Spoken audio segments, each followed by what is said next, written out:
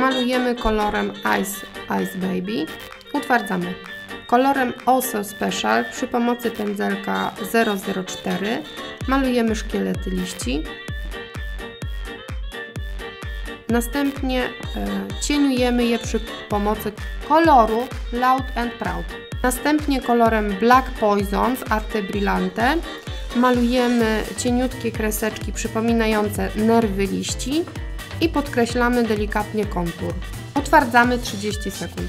Mieszamy ze sobą kolory Ice Ice Baby, dodajemy do niego odrobinę Black Poison, następnie e, gotową mieszanką malujemy cień liści. Utwardzamy 30 sekund, nabłyszczamy, utwardzamy 60 sekund w lampie Dual LED.